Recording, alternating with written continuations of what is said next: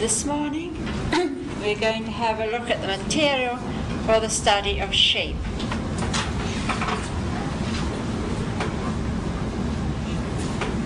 Now, when I uh, talk about shapes, I mean regular shapes, because of course irregular shapes would be endless. When we give the children any of the shapes, again, it's only a help, really, if we give them the full classification. You see, uh, when we had the colors, we gave them a pair of each of the colors, and then they would have, uh, they would know that the, when they met the various shades, they would know which color it was, but they would know all the colors. And so now when we give them shape, we must give them all the shape, all the regular shapes that there are, not just one or two. Now, to some people, it's strange that we do give them all these shapes because usually uh, we start the study of geometry at a much later stage and it's felt to be rather a difficult subject. But the children are surrounded by shapes in the environment. And I think really today they, they have all the shapes. You see, you have hexagonal tiles on the floor You see, you have tables of different shapes. You see, but we all of us grew up with all these shapes being used in our homes or pattern or in some way in which we saw them. But because our attention wasn't drawn to them, we remained very unaware of them.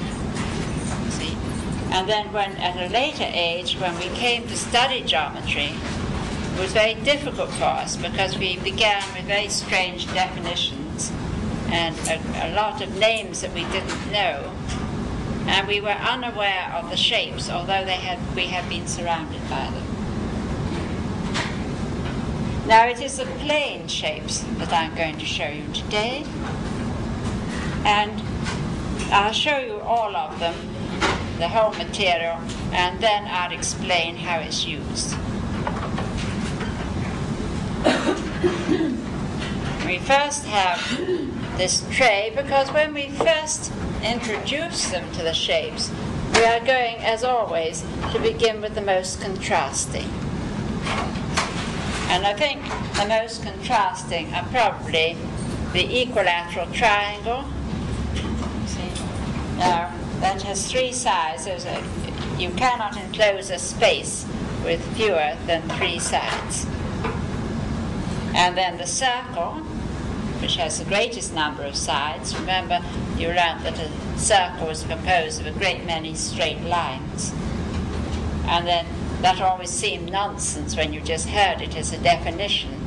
But between four, five, five and a half, the children can construct a circle with straight lines. It's one of the things we do with them in handwork. And the square four equal sides, four right angles.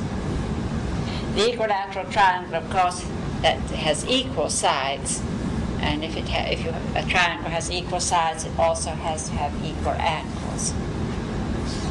So that would be the first piece we would use. now we have a cabinet of five drawers.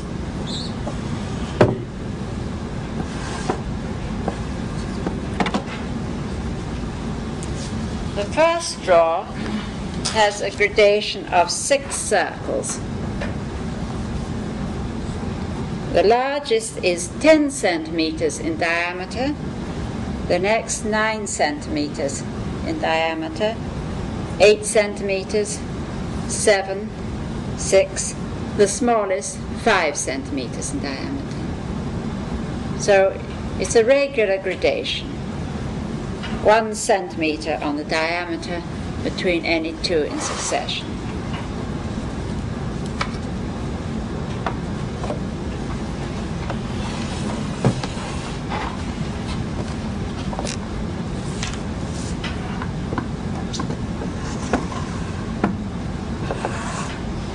Now a draw of quadrilaterals quadrilateral, meaning four-sided. And this is a draw of rectangles. And the, the first one, the first rectangle is 10 by 10 centimeters, and the angles are right angles. The rectangle opposite sides are equal, and the angles are right angles. So this one is a, a rectangle, its special name is a square. And this one is 10 by 9, this one 10 by 8, 10 by 7, 10 by 6, 10 by 5. So again, it's a regular gradation. And the smallest one, which is 10 by 5, it would be exactly half the square, which is 10 by 10.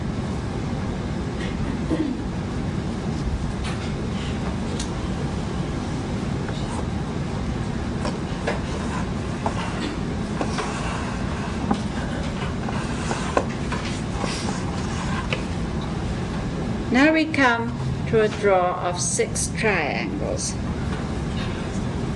Perhaps it would be a help if I wrote these words on the board. We classify triangles by their sides and their angles.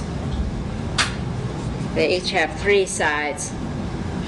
There they can vary in three ways. They each have three angles. So there they could vary in three ways. Now an angle can be a right angle, and then that is 90 degrees, isn't it? It can be smaller than a right angle, in which case if it's less than 90 degrees we call it an acute angle. Right? And if it's greater than 90 degrees we call it an obtuse angle.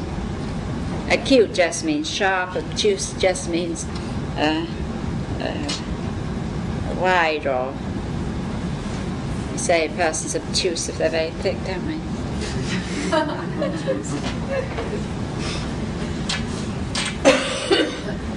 well, the first one we saw was the equilateral triangle. That was in the tray.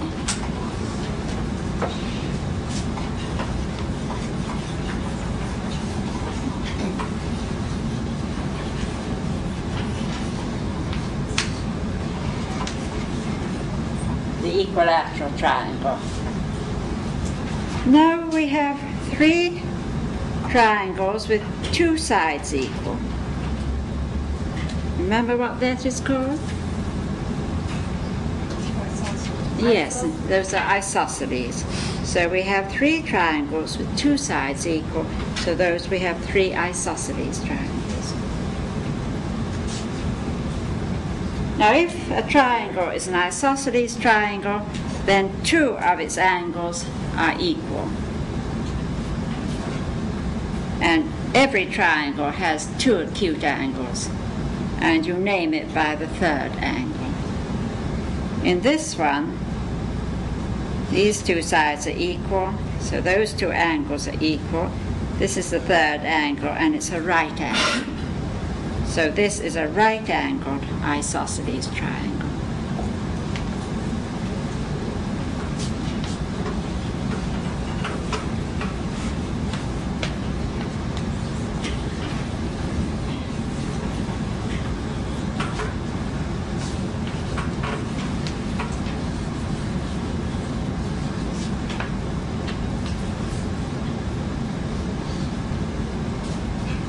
In this one, those are the two equal sides, the two acute angles. This angle is an obtuse angle. So this one is an obtuse angled isosceles triangle.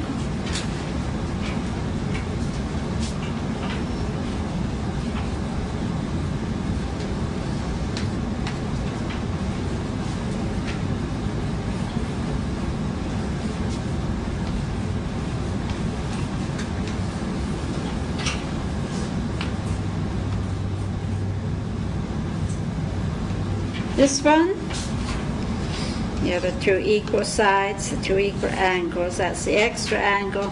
It's acute. So that is an acute angle, isosceles triangle.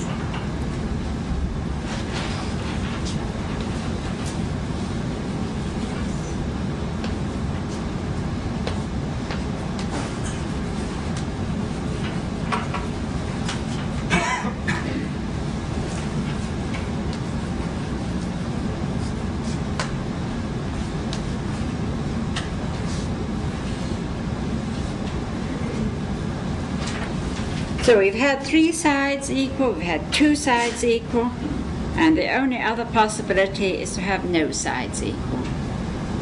So these three, no sides are equal, and they're called scalene triangles. And again, they each have two acute angles. So we name by the third angle. This is a right angle, so it's a right angled uh,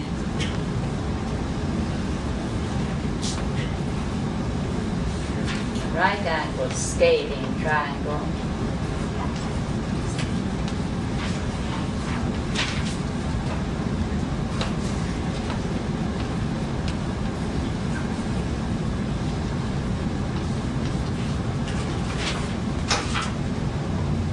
This one has an obtuse angle, so it's an obtuse angled scalene triangle.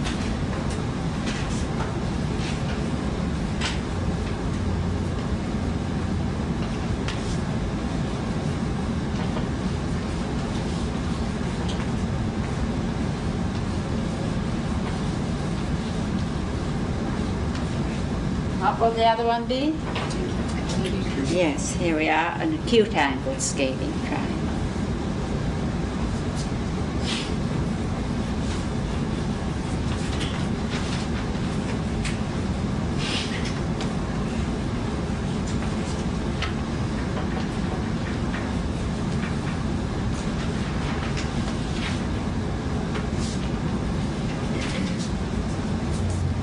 you, you can uh, just seven different triangles. So that's the full classification. Those are all the possibilities there are.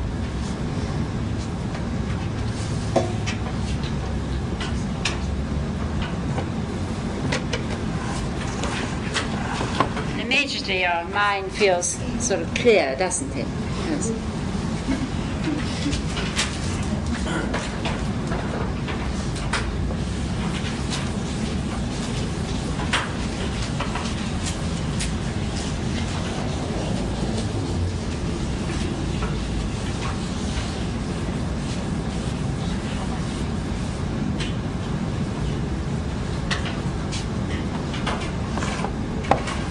Next draw will contain some polygons.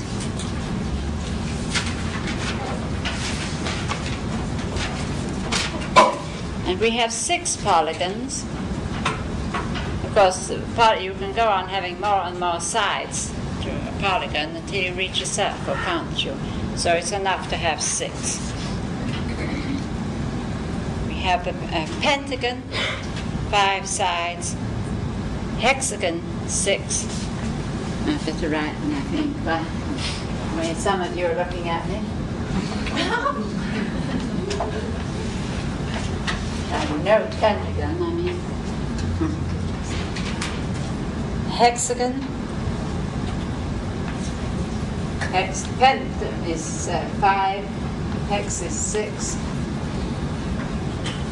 Seven sides, heptagon.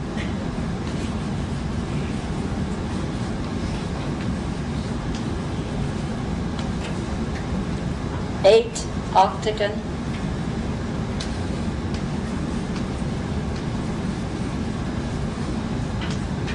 nine sides nonagon,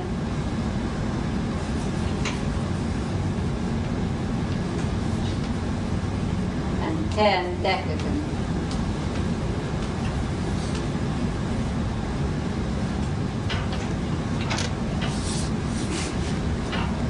Right?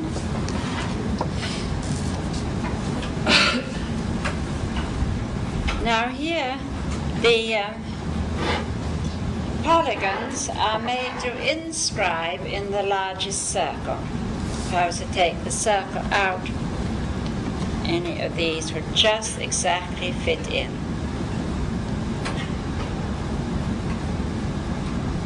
There's a certain relationship built into the cabinet between the figures.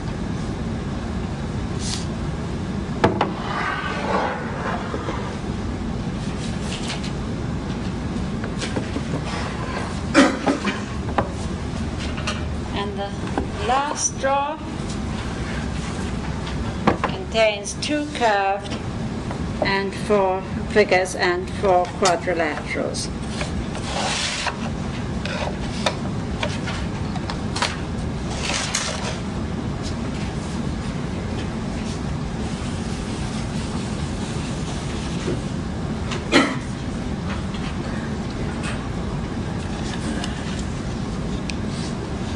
We have the ellipse and the oval.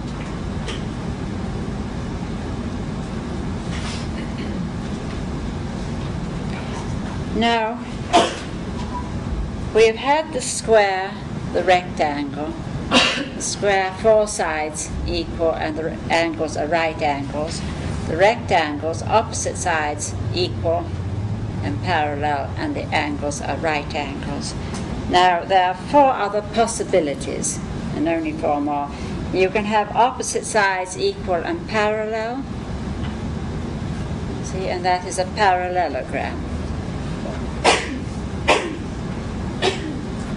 You can have all four sides equal, but the angles are not right angles. And that's a rhombus. You want them written?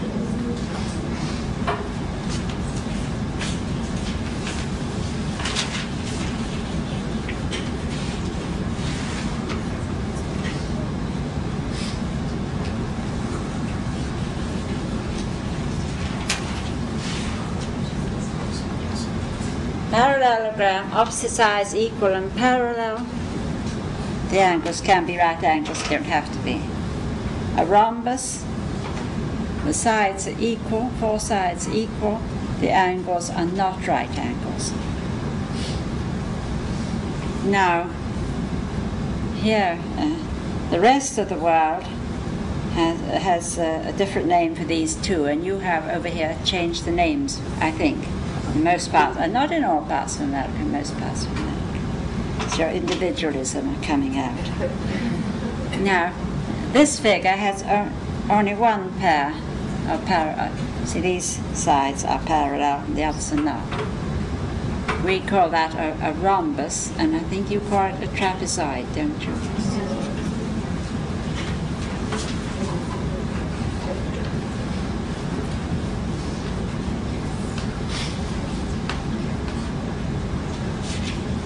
And then the only other possibility is no sides parallel.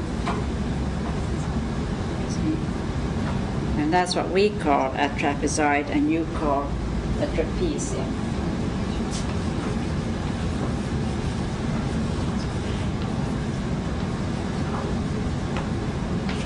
You really have turned those words around because this one, you get many tables, little tables that shape, don't you? And the word uh, trapezium means little table. you never get a table that shape. So time you change back again to fit in with the rest of us.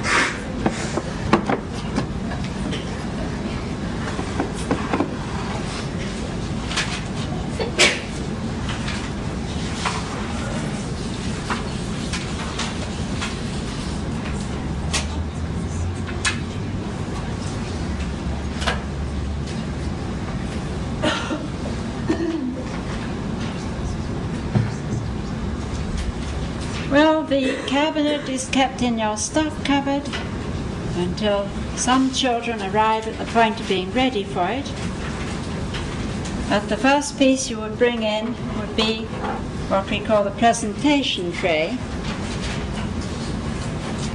The tray with the square, the circle with diameter of 10 centimeters, and the equilateral triangle. I, I want you to notice the coloring. See, I've said to you already that the material has to show up whatever it is you're studying. Here we're studying shape, so we don't want it to, to be strongly colored. If the, these are of strong color, the uh, children only notice the color, they don't notice the shape. So this sort of uh, pale grey, slightly blue tint to it is a, a, very attractive color, but it is not a dominant color. and the rest of the cabinet just means to be this light varnished wood. If we lift out one of the figures, the bottom of the tray is painted the same, same pearly grey as the figure itself. This is very important because the, the uh, firms that make the Montessori equipment, nobody watches them or tells them what to do, and they are beginning to make everything very much too colourful. See, this is a, they make the figures dark and they have a very thick yellow varnish. Her first, uh, in the beginning, she thought, like everyone else, that children had to be attracted by little rewards, sweets, a sweet if they did the right thing, or uh, strong colours to attract them. And her very first cabinet, which must have been about 1907, I don't know if she used it with the defective children or not, but with the normal children uh, she made it with scarlet figures, and the wood was painted white. And unfortunately, the uh, Italian firm makes the cabinet with scarlet figures and painted white. I saw it. I, I saw one last year, and it's simply terrible. It just hits your eyes. It's a colour that hits your eyes. And you simply don't see the shape. So uh, if you possess one of those, you could take the paint off and start again. Now, uh, with this, you see we have the three figures and we have three blank squares of wood.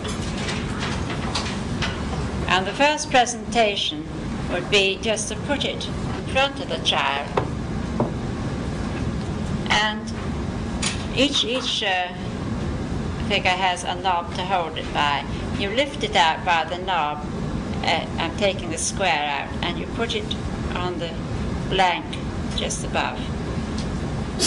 And then you pause for a few minutes because the bottom of the tray is in the same color as the figure, you immediately get a pair of, see, uh, this square here and this square here.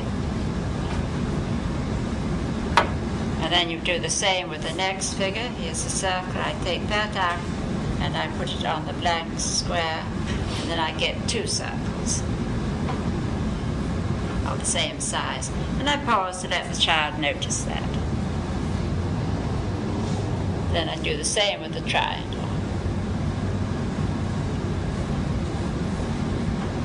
It is important uh, to put the figures in the same position. If I put the triangle uh, skew-wise, then it doesn't look like that, you see. You must put it in the same position.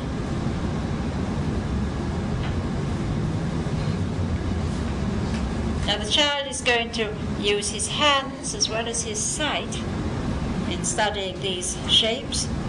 So after he's looked at it or two, then you take one of the shapes and with the first two fingers of your dominant hand, you feel very exactly all around the shape.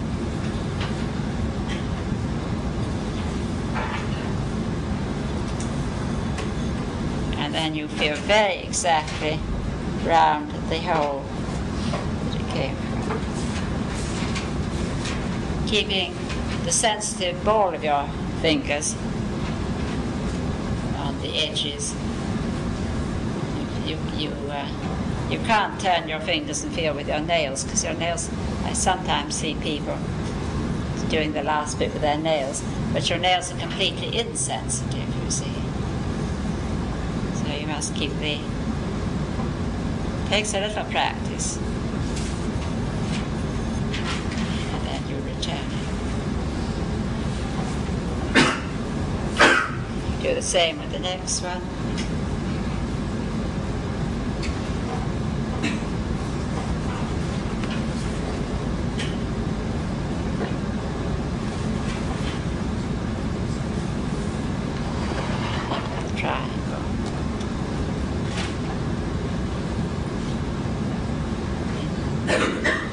If you're thinking about what you're doing, you're immediately aware of the difference such very sharp angles here.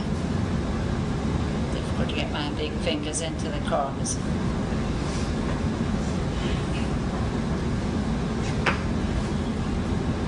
And then the child would have it to use.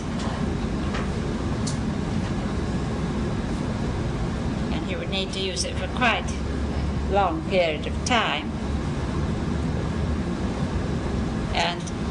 If at first he was not very successful, he was a little clumsy in feeling, then you could sit down and give him another lesson in this exact feeling.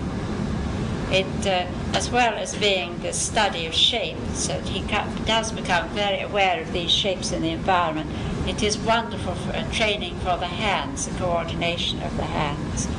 And you see, in fact, he is feeling all these curved, straight lines that he's going to find in writing letters, isn't he? For one thing. But he does get this very perfect hand coordination.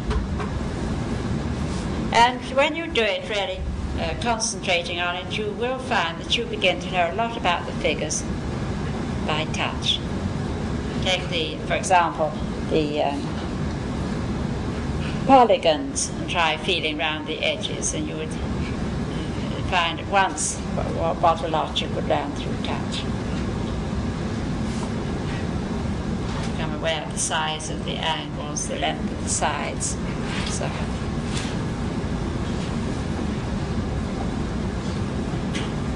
when the child has worked with this tray for a long time and really knows the figures well, then you could teach him the names. Using the lesson I gave you last week, that three period lesson, you would teach square, circle, equilateral triangle. And you will find that the children adore these strange words like equilateral triangle at this at this age.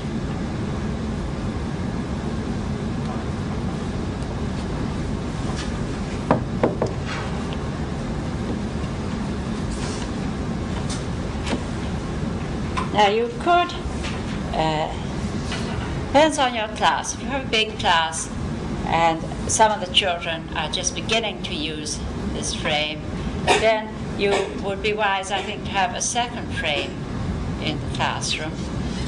If you only have a few children, then uh, you wouldn't need that. But we now proceed, this frame opens, and the teacher, in the evening when she's getting her class ready for the next day, would vary the figures in the tray, always using contrasting ones from the cabinet. Because the children need to get experience with all the figures from the cabinet but in a contra- always as contrasting shapes.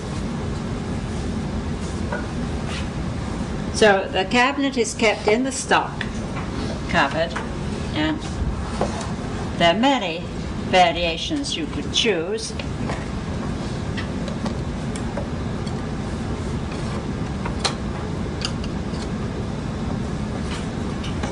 I might put in one of the rectangles.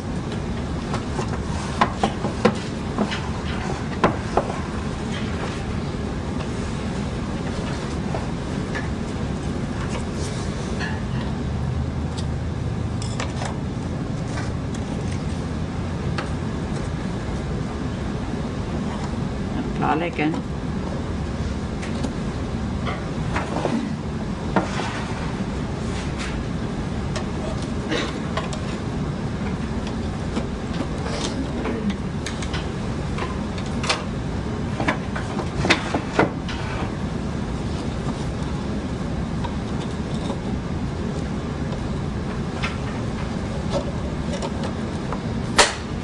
the ellipse. You see Again, very contrasting figures. And when the children came to school, those of them who knew circle, square, equilateral, triangle would find three new figures for them to, to use.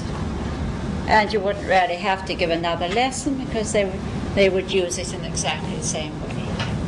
There'd probably be a little conversation about it because they're always interested when they find something different. And again, when they knew these well, been using them some time, again you could teach the name ellipse, polygon, rectangle. Now this polygon has a special name, it's an octagon.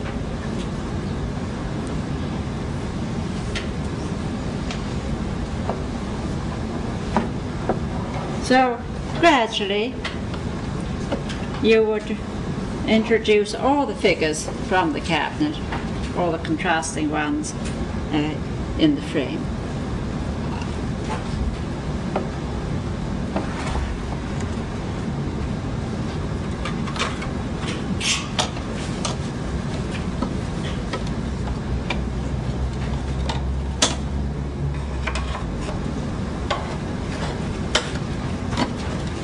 children must work with this material over at least a couple of years. There's a great deal to learn from it. And then when they're older, five, six, seven, and come on to do some geometry again, they will be using this for their cabinet.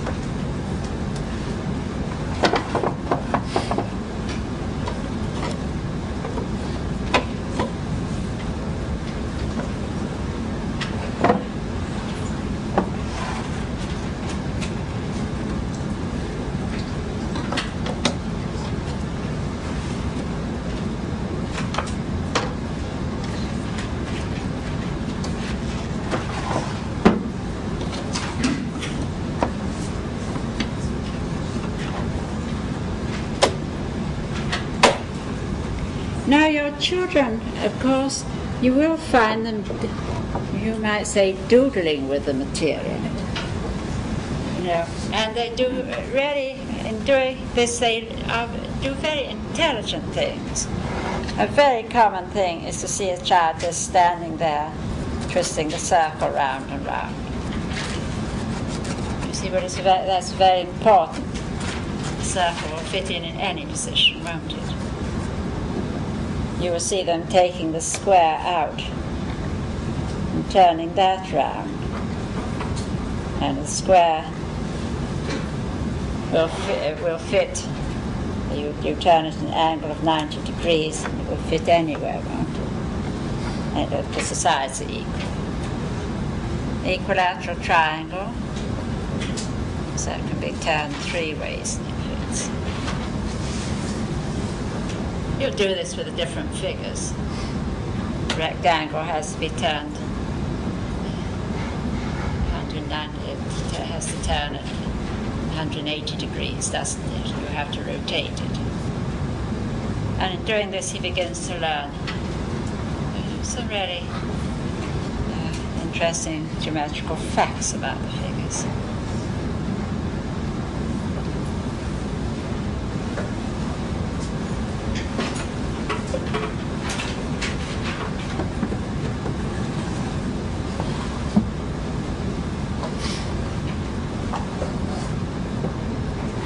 When you see children doing that, you leave them alone, you're very pleased.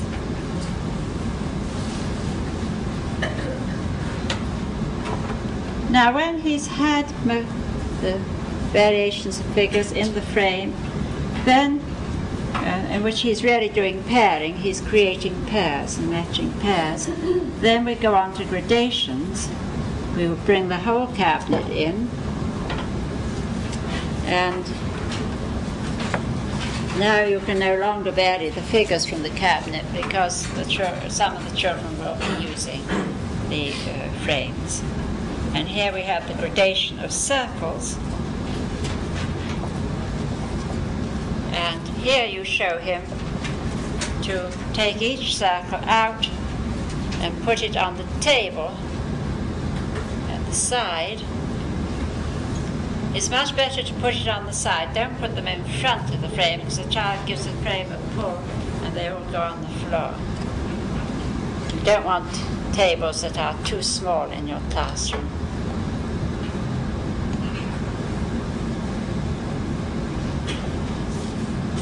And then he picks up any circle, round it, and tries to find the correct place for it by feeling round the uh,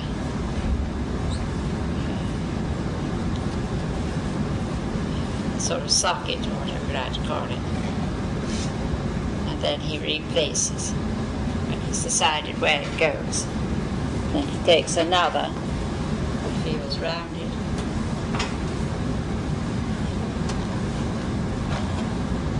not sure where it goes. He feels round the space and then he returns it.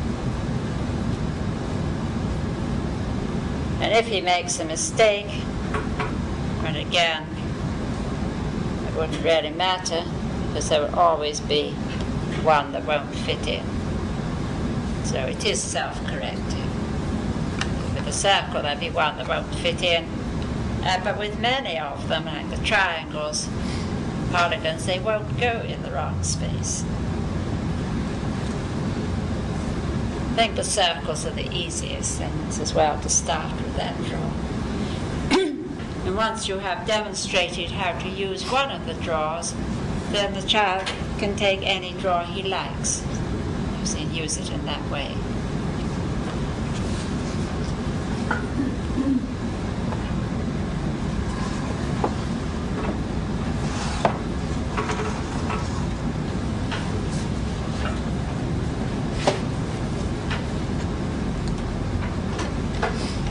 He will probably have difficulty with the triangles.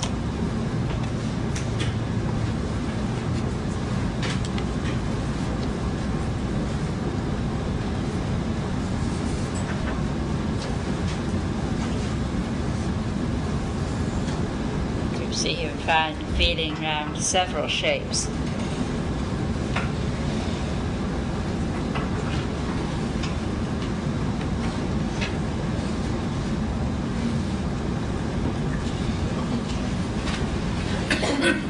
then he may try and put it in the wrong way. He does have quite a bit of difficulty with it. But it's only through practice that he really gets to know them well, can recognize the identities.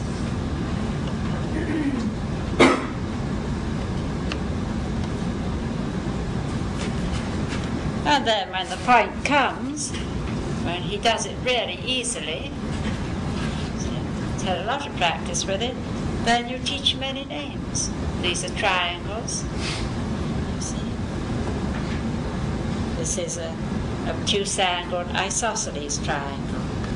This is a right-angled isosceles triangle. This is an acute-angled isosceles triangle. So just take the three you are going to teach.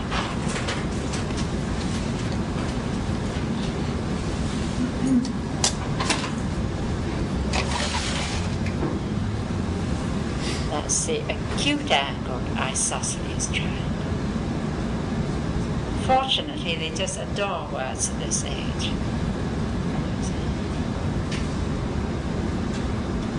This one is the obtuse angled isosceles triangle.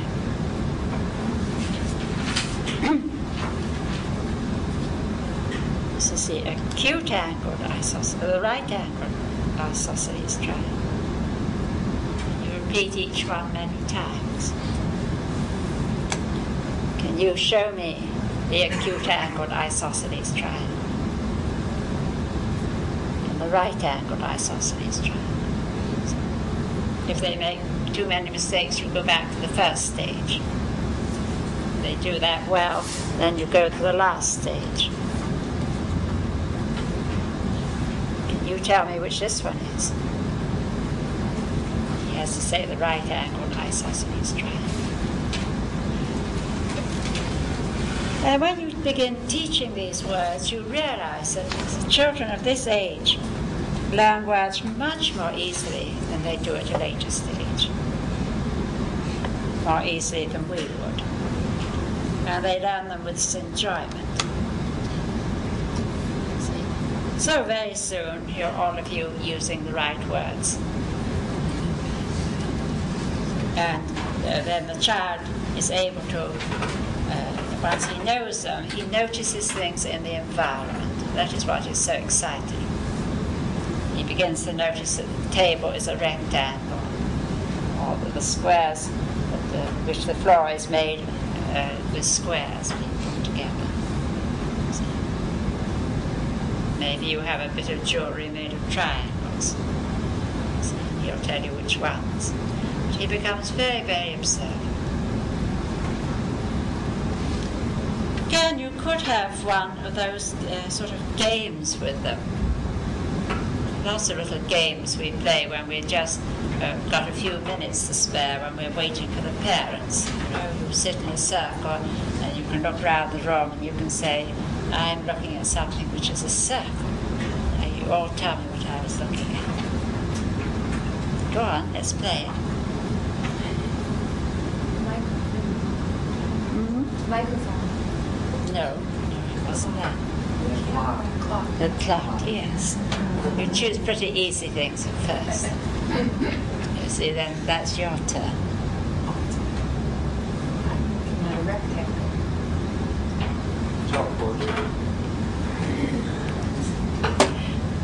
But they get very cunning. They see little tiny things after a bit, you know. And it, it helps to make them really observe. They love those games.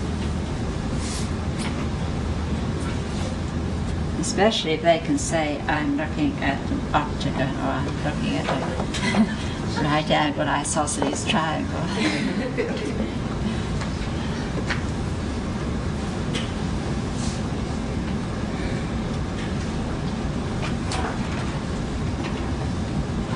When they're older,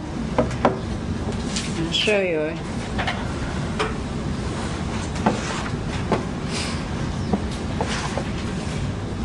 These are.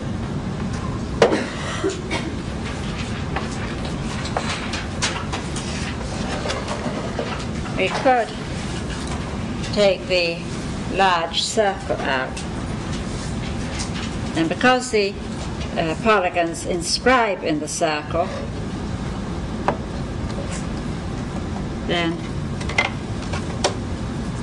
you can put the pentagon in. And you see it leaves very wide spaces, doesn't it?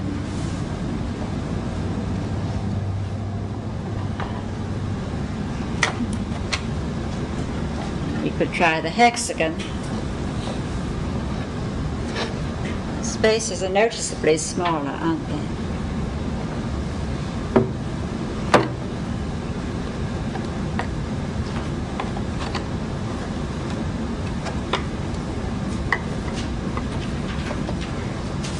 Heptagon.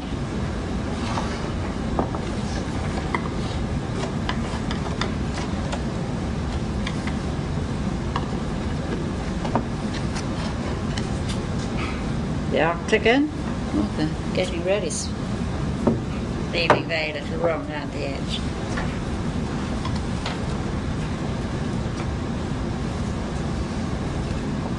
The nonagon. decagon.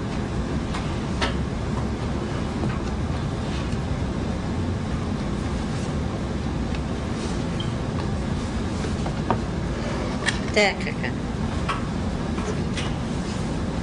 look at the di- difference between the decagon and the pentagon. So the child begins to see that the more sides a figure has, the nearer it gets to the area of a circle.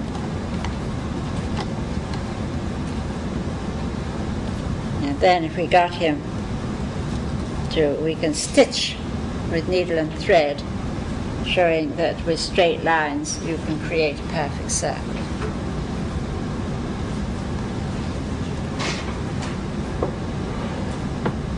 Between four and five, we would start stitching curves with them as part of the handwork.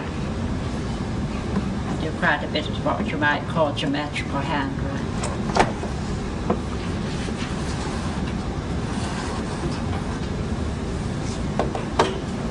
Show you one more thing.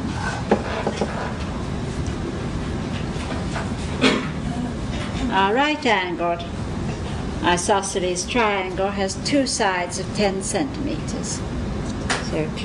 And the square has sides of 10 centimeters.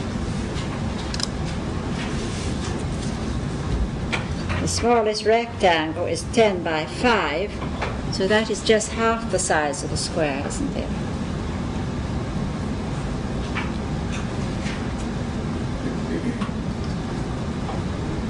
See? We can show that the right angled isosceles triangle is just half the size of the square, two of them equal the square. And then we could show that this smallest rectangle is just half the size of the square. So therefore, that triangle, this triangle, and this rectangle, which looks so very different, must be equal in area. These two.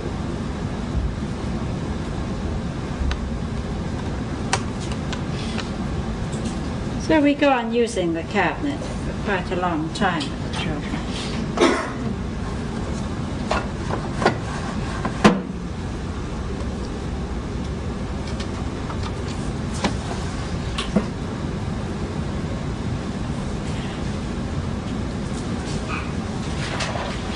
Is there anything you'd like to ask about it?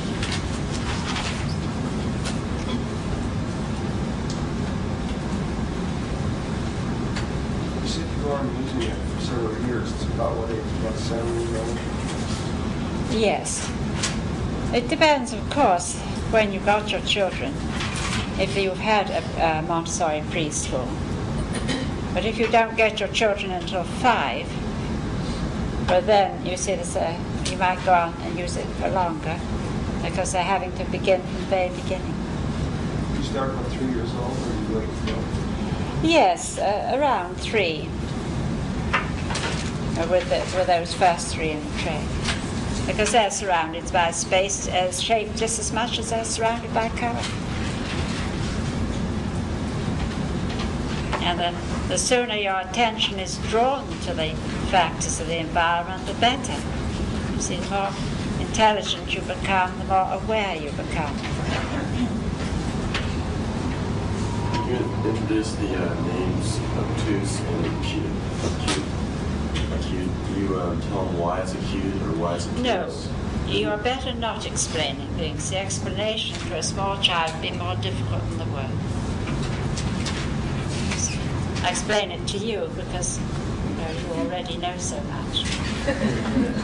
yes, but it is very difficult for them to take explanations. They like just a statement of the word. And they're just learning the size or the shape by sight. Well, they have learned it by touch too. They have had it for some time. They've been uh, learning it by touch and by sight. Um, touch is a very big factor to in learning with the small children. When will they learn the definition? Oh, well, then the definitions are quite. Uh, you will find that age um, from birth up to about six, they just love names. They're very busy just learning language. And then between six and seven, they go into a totally different stage of development, having learned a very rich language. The more words they have learned, the more words they will add hereafter because the mind has got accustomed to using, learning words and you can then take this love of language into the cultural side of language and keep the love of language and the uh, pleasure in using words alive for life, you know. But at about that age, children begin uh, to want to know the reasons for everything. You see, they've built up enough knowledge with which to reason, or they should have done. And it's then that they like the rules on everything and they begin to ask you why. That is an age really for questioning. And the little ones say, uh, a two and a half year old says why to you, it's usually because he wants to keep the conversation going. You know, he's not particularly interested in the answer.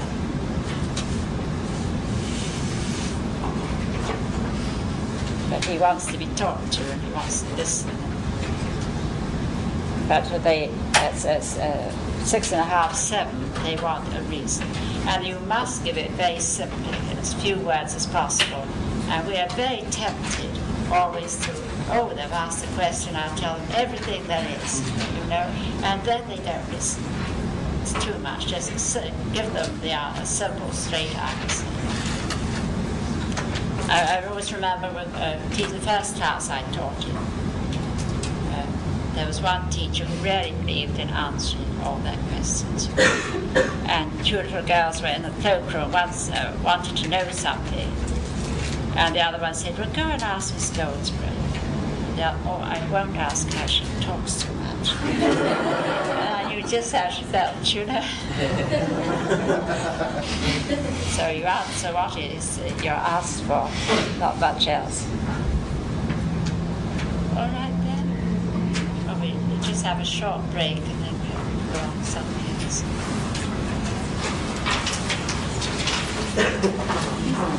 よいしょ。